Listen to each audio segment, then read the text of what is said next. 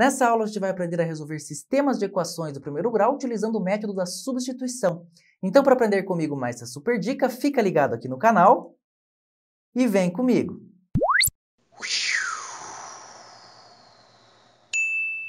Fala pessoal, tudo beleza? Então, como sempre, antes da gente começar, já quero pedir aí para vocês, deixa o like nesse vídeo que isso ajuda muito aqui no crescimento do canal. Te convido aí também a se inscrever aqui no canal caso você ainda não seja inscrito e ativar o sininho das notificações. Assim você vai ficar sempre por dentro de todo o conteúdo que eu posto aqui exclusivamente para você, beleza? Então chega de enrolação, pessoal, vamos dar uma olhadinha aqui daí nesse lindo sisteminha de equações do primeiro grau que já está aparecendo aqui. Então vamos lá, né, pessoal? Primeiramente vamos definir o que, que é o sistema de equações do primeiro grau. E ele consiste, pessoal, em um conjunto de equações, todas do primeiro grau, que apresentam mais de uma incógnita. E para a gente resolver o sistema de equações aqui então do primeiro grau, a gente tem que encontrar os valores dessas incógnitas que satisfazem simultaneamente a todas as equações que nós temos aqui, certo? Nesse caso especial, ó, nós temos aqui daí duas equações, certo? E duas incógnitas que são x e y aqui. Beleza, pessoal? E aqui nessa aula, é, para estar utilizando aí o método da substituição, né? E também aqui é, a gente vai estar estudando esse caso particular, nós vamos trabalhar aí com esse tipo de sistema que tem duas equações e duas incógnitas. No entanto, Existem sistemas que possuem mais equações e mais incógnitas, tá? Inclusive, aí os números podem ser diferentes de equações de incógnitas. Porém, aqui a gente vai se restringir a esse caso, que é o caso mais simples de todos, beleza? Então, vamos lá, pessoal. É, vamos começar aqui a entender como é que a gente utiliza o método da substituição, que consiste basicamente em a gente escolher uma das equações que nós temos, isolar a incógnita, né, dessa primeira que a gente escolheu, e substituir na outra. Aí a gente vai resolver uma equaçãozinha do primeiro grau simples, encontramos o valor de uma incógnita e depois Substituindo ainda na outra equação, a gente encontra o valor da outra incógnita. É basicamente isso, tá? É fundamental que vocês conheçam aí pelo menos o básico de equações do primeiro grau para a gente poder entender aqui o desenvolvimento do sistema de equações do primeiro grau que nós vamos estar vendo aqui. Se você ainda não sabe, link aqui no card para vocês, tá? Já dei essa aula aí, beleza? Então vamos lá, pessoal, vamos começar aqui daí então, ó. Primeiramente, só para a gente se organizar para efeitos de organização, eu vou chamar aqui daí de equação 1 e aqui de equação 2, beleza? E agora como é que a gente vai fazer, pessoal? Olha só, eu preciso escolher uma das duas equações e uma das incógnitas para estar isolando ela. Aqui no caso, eu vou escolher a equação 1, tá bom? Então, D1 da equação 1, tá? Eu vou isolar o x aqui, tá bom, pessoal? Então, olha só, vou até reescrever ela aqui, ó. x menos 2y igual a 7, e agora eu vou isolar o x. No entanto, aqui daí eu já vou dar a primeira dica para vocês, tá? Eu posso isolar o y se eu quiser? Olha, eu até posso, né? Só que, pessoal, só para vocês entenderem, né? Bom, eu já vou comentar isso. Primeiro eu vou isolar o x e daí eu vou isolar o y para vocês verem o que, que eu tô querendo dizer. Olha só. Isolando o x, galera, o que, que vai acontecer aqui, ó? X vai ser igual. Eu já tenho 7 aqui no segundo membro, né? Então só repito ele. E agora, como eu quero isolar o x, a ideia de isolar o x é deixar ele sozinho em um dos membros, né? Que é isso aqui, x igual. Então o 7 que já está lá, mais 2y. Ó. Vejam que o menos 2y que estava aqui, ele passou para outro membro positivo, né? Certo? E agora voltando ali para comentar, posso isolar o y se eu quiser? Eu até posso, pessoal. Só que agora olha só a nhaca que ia virar se eu isolasse o y, ele ia virar isso aqui, ó. É, eu teria que daí passando x para o outro membro, né? Ia ficar menos x, então olha só. Menos 2y aqui daí então ia ser igual a 7 menos x.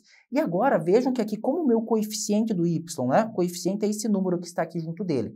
Como esse coeficiente aqui ele é diferente de 1, então eu ainda teria que passar esse menos 2 aqui para o outro lado dividindo. Olha só, y daí seria igual a 7 menos x dividido por menos 2. E galera, vejam que aqui nesse caso, se eu tivesse isolado y, eu teria que trabalhar necessariamente com fração, né? Claro, né? A gente tem que saber, existem eventuais casos nos quais a gente não consegue fugir da fração, tá bom? No entanto, aqui a gente consegue, né? Observem aqui com o prof que isolando o x daqui é muito mais fácil, eu não vou precisar trabalhar com fração. Então, claro, né? A gente tem que saber trabalhar com fração, mas podendo fugir disso, a gente vai trabalhar sem fração porque é mais simples, né? As chances de errar são menores, tá bom? Então, vejam, eu posso escolher qualquer uma das equações, isolar qualquer incógnita, no entanto, a gente vai sempre buscar isolar aquela incógnita que tem coeficiente igual 1, tá? Por quê? Pelo fato de ser mais fácil, ser mais simples, beleza? Só isso, tá? Então, apagando aqui daí, ó, já dei essa dica que é super importante aqui para vocês, tá bom? E agora vamos seguir aqui, ó. Tendo isolado o x aqui daí da equação 1, pessoal, agora eu vou substituir esse x isolado na equação 2. Ó. Então, em 2 agora, o que, que eu vou fazer? Eu vou até repetir a equação aqui, tá? Aqui eu estou repetindo tudo, fazendo bem detalhadinho para vocês entenderem, mas vocês aí, no estudo de vocês, não precisam, né? Então, olha só, repetindo aqui da equação 2, ó, eu tenho 3x menos y igual a 6. Qual que vai ser a minha ideia aqui agora, pessoal? Se liga só. Eu acabei de encontrar da primeira equação que o meu x é 7 mais 2y, correto? Então, o que eu vou fazer? Eu vou pegar esse 7 mais 2y, vou substituir aqui pelo x, ó, tá? Por isso, substituição, essa é a ideia, beleza? Então, como é que vai ficar isso aqui, ó? 3, vejam que o 3 está multiplicando todo o x, então ele vai multiplicar todo esse bagulhinho aqui que eu estou trocando pelo x, né? Então, ó, vai ficar 3 vezes, abrir parênteses aqui daí, né? Vai entrar aqui daí todo 7 mais 2y, beleza? É aqui daí fechei parênteses, né? Vou fechar parênteses aqui. Agora eu continuo a equação normal, ó. Tinha aqui menos y igual a 6, né? Então, ó, menos y igual a 6. E agora, galera, o que, que eu vou fazer? Eu vou resolver essa equaçãozinha do primeiro grau em y que eu tenho aqui. Daí, eu encontro o valor de y. Essa é a primeira etapa, tá bom? Então, vamos lá. Para eu resolver isso aqui, o que eu vou fazer? Vou distribuir aqui, né? 3 vezes 7 e 3 vezes 2y. Então, ó, 3 vezes 7 dá 21. 3 vezes 2y dá 6y, né? Mais 6y, maravilha. Menos o y que está aqui, que vem depois, igual a 6, né? E agora é só resolver aqui, né, galera? Como é que vai ficar aqui, ó? Bom, primeiramente aqui daí eu vou juntar os termos semelhantes aqui para dar uma adiantada no serviço, né? Ó, 6y menos y aqui dá 5y, né? Isso aqui daí vai ser igual a quê? Vai ser igual ao 6, que já está no segundo membro, né? E agora menos o 21 que está no primeiro membro, mas vai passar lá para o segundo membro negativo, ó, certo? E agora, junto aqui esses termos aqui, né, 6 menos 21. Vou fazer aqui daí, continuar aqui do ladinho, pessoal, tá acabando meu espaço ali, né? Então, o que, que eu vou ter, ó?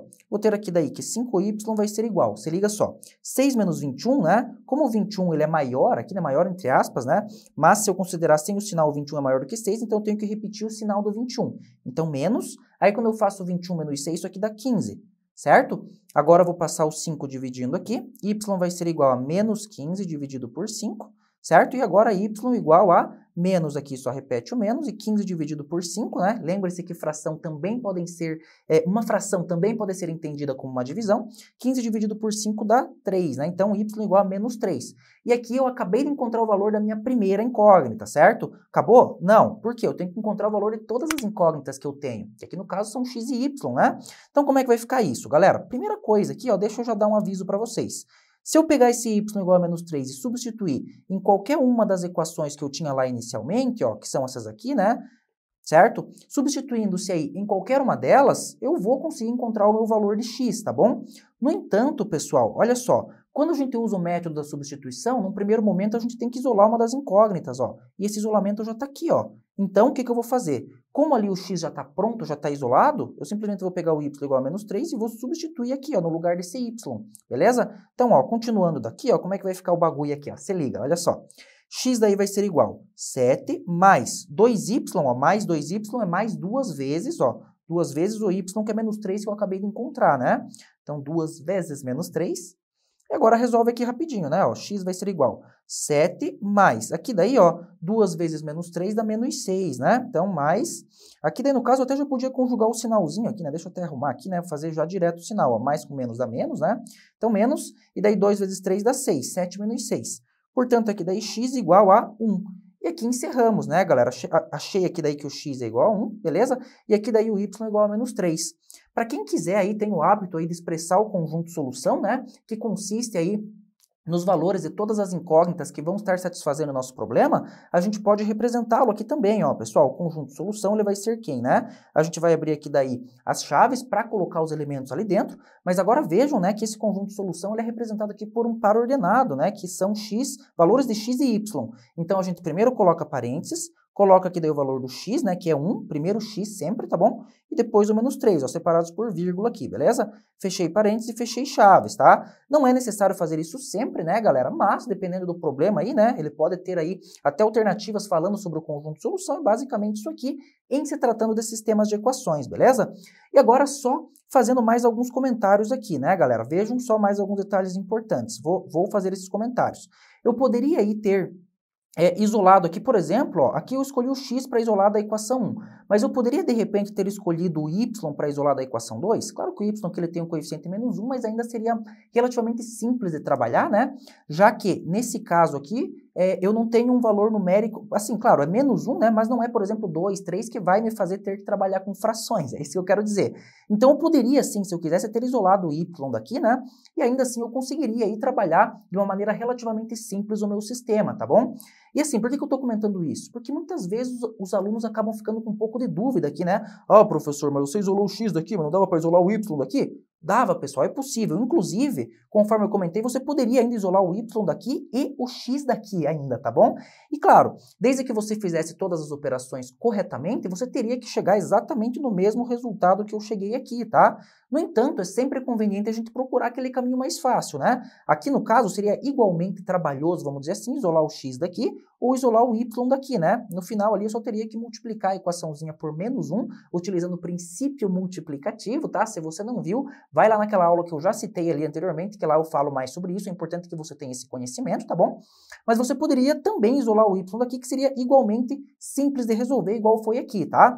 Agora, conforme eu disse, né? Isolar o y daqui ou isolar esse x aqui, com certeza ia dar mais trabalho, porque os coeficientes aqui, eles não são nem 1 e nem menos 1, né? Vejam que aqui, ó, o meu coeficiente é menos 2 e aqui daí o meu coeficiente é 3, então não é bacana eu isolar daqui, tá bom? E claro, esse daqui daí é o método da substituição, mas vão ter outros métodos aí que eu vou passar aí em aulas subsequentes para vocês, não se preocupem com isso, beleza, pessoal? Esse aqui é só o primeiro método que a gente tem para resolver, beleza? Bom, tendo visto aqui daí, então a teoria, a ideia que está por trás aí dessa resolução, galera, vamos passar aqui daí ver um probleminha de concurso, ó. Esse aqui foi o problema 12, que caiu aí no concurso do Colégio da Polícia Militar, prova realizada aí no ano de 2016 para ingresso 2017, tá? Olha só. Sabendo-se que A mais B igual a 7 e que 9A sobre 4B, fração, né? 9A sobre 4B igual a 3, determine o valor de A ao quadrado mais B ao quadrado. Temos aqui daí as quatro alternativas, né, pessoal? Logicamente, somente uma delas está correta. E se você, meu aluno, está estudando comigo, está aprendendo comigo, galera, já te convido aí agora, pausa o vídeo, tenta resolver esse problema aí, e na sequência o prof traz aí a resolução e a resposta para vocês, beleza? E aí, deu certo? Galera, só antes da gente ir aí para a resolução, quero pedir aí para vocês, compartilhe esse vídeo naquele grupo da sua turma, compartilhe com os seus amigos, com seus amigos que também estão fazendo aí é, o concurso, né, que estão estudando para o concurso, porque isso vai ajudar muito o prof aqui, vai ajudar no crescimento do canal e vai estar me motivando a produzir cada vez mais conteúdo aqui para ajudar vocês, beleza? Então dá essa forcinha aí, tá bom? Então vamos lá, galera, olha só. É, aqui daí, né, observem que muito embora esse sistema aqui ele não esteja dado na forma tradicional que eu mostrei ali para vocês anteriormente, né, eu não tenho aqui daí as chaves, tudo bonitinho, né, certo? Mas é, vejam que a ideia é exatamente a mesma. Ó. Eu tenho aqui duas equações e duas incógnitas, que aqui no caso são A e B, né? Ó, oh, professor, mas você ensinou a fazer com x e y. É a mesma coisa, a ideia é exatamente a mesma, né, galera? Isso aqui não vai fazer diferença, tá bom? E daí assim, ó, vejam que o problema aqui, ele está pedindo o valor de A ao quadrado mais B ao quadrado, né? A nossa ideia daí, então, vai ser encontrar os valores de A e de B para depois calcular esse bagulho aqui, beleza? Então vamos lá, né? Claro que a gente vai estar aplicando aqui o método da substituição, tá bom? Então, é, a minha ideia aqui, pessoal, vejam, conforme eu falei, eu posso escolher qualquer uma das equações e isolar qualquer uma das incógnitas. No entanto, está bem mais fácil isolar daqui, né? Isso aqui está bem claro para a gente, né? Vejam que isolar daqui, né? Eu tenho aqui daí coeficientes colados aqui no A e no B, não vai ser legal, tá bom? Então eu vou isolar daqui, tá bom? Como é que vai ficar isso aqui daí então, ó? Eu aqui vou isolar o A, tá? Tanto faz, mas aqui eu vou isolar o A. Então isso aqui vai ficar A igual a 7 o B está aqui positivo, vai para lá negativo, então 7 menos B. Legal? E agora esse 7 menos B eu vou substituir lá na primeira equação, tá bom? Então, olha, na segunda equação, né? Então, o que, que eu vou ter? Eu vou escrever aqui, ó, 9A sobre 4B, isso aqui dá igual a 3. Agora, conforme eu disse, né, eu vou pegar esse 7 menos B e vou jogar aqui no lugar do A. Essa é a ideia, né? Daí eu vou ter uma equação somente com B, encontro o valor de B e depois encontro o valor do A, beleza? Então, bora lá, olha só como é que vai ficar. 9 que multiplica 7 menos b, maravilha. Tudo isso dividido aqui por 4b, isso aqui daí vai ser igual a 3, legal? E agora, pessoal, vejam que eu tenho aqui uma proporçãozinha, né, que é uma igualdade de razões, uma igualdade de frações. E para a gente resolver isso aqui, a gente multiplica em x, né? Mas pode falar, não, professor, mas o 3 não é uma fração. É, mas eu posso chegar e colocar um aqui, que agora ele é uma fração, né? Agora eu multiplico em x, né, conforme eu estava falando para vocês, ó. Multiplica em x, aí a gente consegue resolver. Vamos lá, então, ó. Quando eu tenho aqui o 9 que multiplica 7 menos b vezes 1, pessoal, qualquer coisa vezes 1 é ela mesma, né? Então é só repetir aqui, ó. 9 que multiplica 7 menos b, isso aqui daí vai ser igual aqui, ó, a 4b vezes 3, isso aqui dá 12b, né?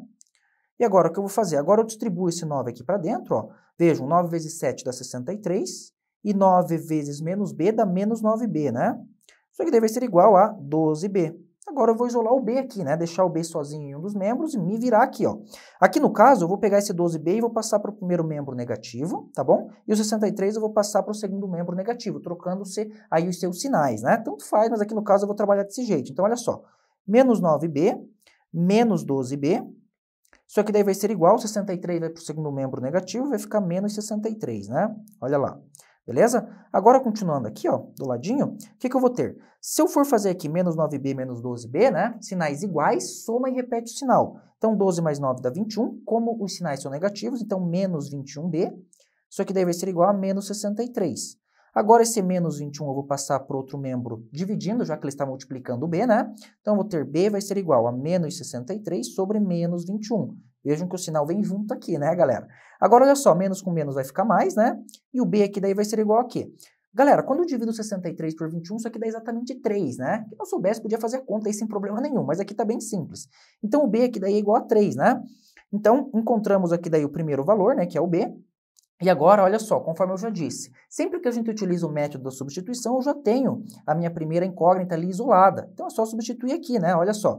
Agora, ó, vou, vou colocar aqui, ó, A é igual a 7 menos B, né? Que está aqui, ó. A é igual a 7 menos B, que eu vou fazer aqui daí, ó. A é igual a 7 menos o B, que eu acabei de encontrar, que é 3. Então, aqui daí o A é igual a 7 menos 3, que dá 4, né? Agora, eu encontrei aqui o meu valor de B igual a 3 e o meu valor de A igual a 4. Então, agora, como é que eu vou proceder aqui daí? Pessoal, acabou meu espaço aqui, eu vou fazer aqui nesse canto, tá bom? Agora, eu tenho que encontrar o valor desse bagulho aqui que o problema pediu, né? Que é A ao quadrado mais B quadrado, né? É, mais B quadrado. Então, vamos lá, ó. Como o meu A aqui, ele vale 4, pessoal, como é que vai ficar isso aqui, ó? Então, vai ser 4 ao quadrado, só substituir, né? Beleza? Mais o b aqui, que é 3, né? Ó, o b aqui daí que é 3, daí mais 3 ao quadrado. Legal, resolve isso aqui rapidinho, ó. 4 ao quadrado é 16, 3 ao quadrado daí é 9, né? E aqui daí fazendo finalmente 16 mais 9, isso aqui dá 25, né? Ou seja, o valor ali da expressãozinha pedida ao final é igual a 25, né? Alternativa correta aqui pra gente, portanto, de letra B. Beleza, pessoal? B de beleza, beleza, galera? Tranquilo? Sucis bem de boa aqui, né? Bom, pessoal, dessa aulinha aí que eu tinha para passar aí para vocês era isso. Deixa um comentário aí embaixo se você ficou com alguma dúvida, se você quer saber mais alguma coisa. Deixa aí a sua sugestão de aula aí também que o prof vai estar avaliando para estar trazendo aí nos próximos vídeos aí para vocês também, beleza? Então, por hoje era isso. Nos vemos aí então na nossa próxima videoaula. Valeu, galerinha, um grande abraço e até lá!